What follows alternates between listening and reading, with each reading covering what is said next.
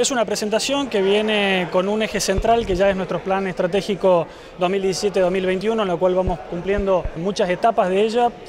Hemos sembrado en su momento con gestiones, con coordinación y hoy en día estamos cosechando como por ejemplo eh, los vuelos internacionales. Hoy en día tenemos tres vuelos a Santiago de Chile, siete vuelos a la semana con Lima en Perú, que comienzan el primero de julio, ya venimos con cuatro vuelos a la semana, tres vuelos a Sao Paulo, han venido empresarios de distintos sectores a hacer negocios en la provincia, tanto con el turismo, el comercio, la industria. La verdad que es una apertura al mundo la temporada de invierno.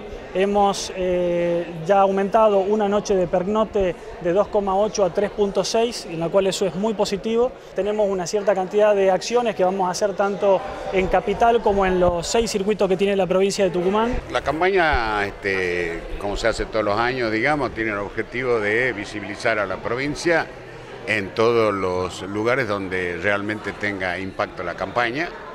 Está, como siempre, armada entre el sector público y el sector privado, que en este tema colaboran muy estrechamente.